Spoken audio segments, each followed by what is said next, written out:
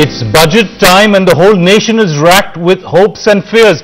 Will the finance minister be able to stem the tide of falling GDP growth and revive the Indian dream? We're talking today to none other than eminent industrialist Adi Godrej about his hopes and fears for the budget and the hopes and fears of Indian industry. Mr. Godrej, thank you very much for talking to NewsX, sir. Uh, I want to start, Mr. Godrej, by asking you this. Many people are predicting a very populist budget, especially given that uh, the President Pranab Mukherjee's speech to Parliament almost sounded like a call to election. Are you worried that populism will be the driving force behind the budget, sir? No, not at all. I think uh, it won't be a populist budget. I feel it will be a budget which will be growth oriented. I think the finance minister had spoken uh, several times on this subject. And I think now populism, even before elections, does not seem to make sense. If you look at all the state elections, those states where development and growth was paid attention, where it was successfully implemented, there the party in power has got re-elected.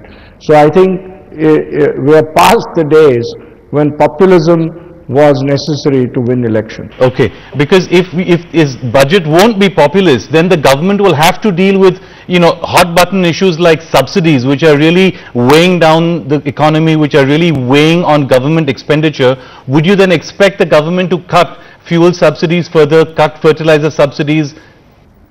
Well, they've already started cutting fuel subsidies. As you know, diesel subsidy is being cut by roughly 45 to 50 paise a litre every month. Already two or three of these phases have been implemented. Petrol prices have been raised, railway fares have been raised. So they've already started working on cutting subsidies. And I think the finance minister, yes, absolutely, the finance minister has made no uncertain, uh, in no uncertain terms stated that he would like to cut subsidies.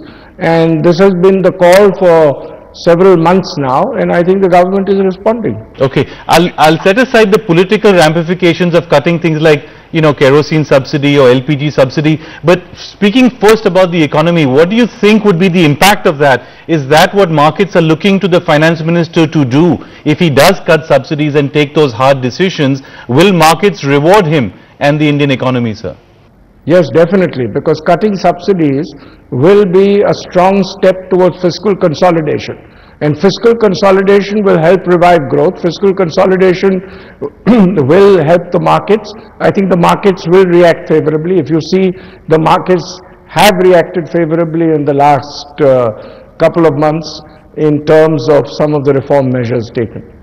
That's true. But let me just stay on this for one more, give me one more question on this because at a recent meeting of the Congress party, um, the, the, the, largest number of, of people there were pushing for a populist budget. They basically made it clear that if the government has to face elections, they cannot alienate the middle class voter and the farmer by cutting things like fertilizer subsidy. Do you believe the government will be able to withstand that kind of political pressure from its own, its own, uh, its own workers and its own members? Yes, I think so, because if you look at, say, the diesel subsidy, clearly the government has taken a strong decision. If you look at railway fares, the government has taken a strong decision. And uh, there has not been much protest either to the cut in diesel subsidy or or the railway fares. And I think uh, the population of India is sensible now. They understand that subsidies cannot go on forever, that you cannot run an economy on subsidies and that... What about the um, opposition, sir? Is the opposition as sensible as the people of India? Because in the past, when the government has tried to do the prudent thing, we have seen Bharat Bandh's protests that have basically forced a rollback, at least partial rollbacks. Are you afraid that even if the finance minister steps up to the plate and does what you're saying, that the opposition will make it untenable for the government to carry through on those decisions?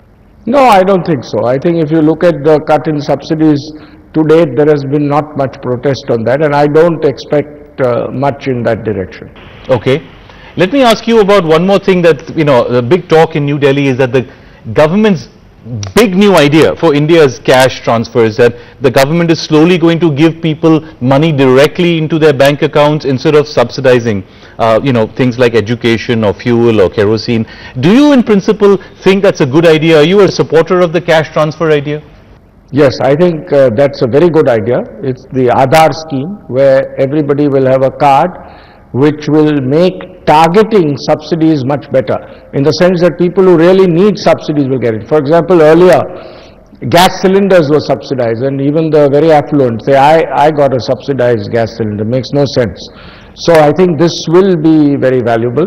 It will cut down the cost of subsidies. Subsidies will go where they are needed and subsidies will not be wasted in terms of uh, the expenditures incurred.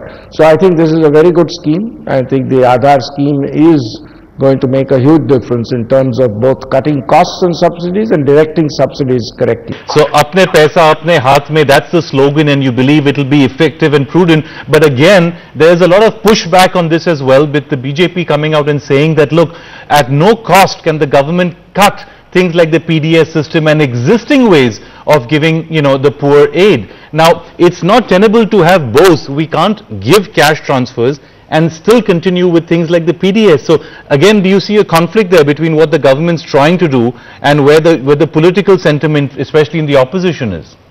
There's bound to be some conflict between the views of the government and those of the opposition. But I think good sense will prevail, especially in this matter. And I think most people, most politicians have understood that uh, directly providing uh, cash transfers to the deserving is going to work much better. What do you think the government will do to spur growth? Now growth is down to 5% uh, GDP growth, 5%.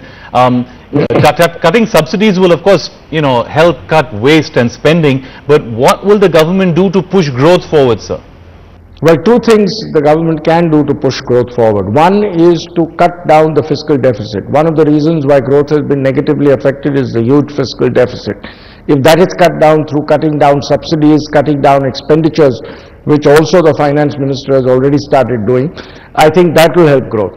But the most important reform that will help growth will be the implementation of the goods and services tax. This one this one reform will add 2 percentage points to India's GDP growth, other things being equal.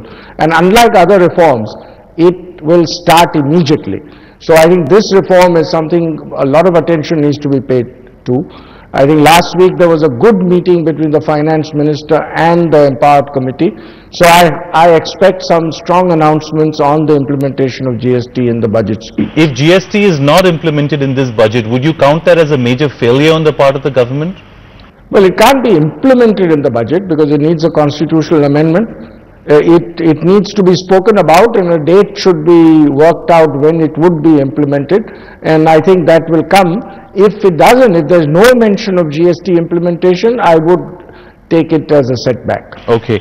Um, this idea that the government is running short of money, uh, we're hearing talk of a tax on the super rich, just like the United States has levied. We're hearing talk about, you know, bringing back the dividend tax, bringing back estate duties. Uh, talk to us about these three things. What's your response to, to all the talk of them being brought back? Higher rates of taxes have never led to higher collections in India. It doesn't in most parts of the world. For example, take estate duty. No developing country has estate duty. It's a developed country phenomenon. Our rates of taxes, if you combine corporate taxes and personal taxes are about the highest in the developing world. Raising rates of taxes will not lead to higher collection. It will lead to lower GDP growth because investments will be negatively affected. Lower GDP growth will lead to lower collection of taxes. We used to have 90 odd percent income tax, maximum marginal rate of income tax, 8% wealth tax in the past and our growth rate was 2%. We've gone through that regime of high taxes. High taxes do not work, whether it's indirect taxes or direct taxes in a country like India. They don't work in the developing world.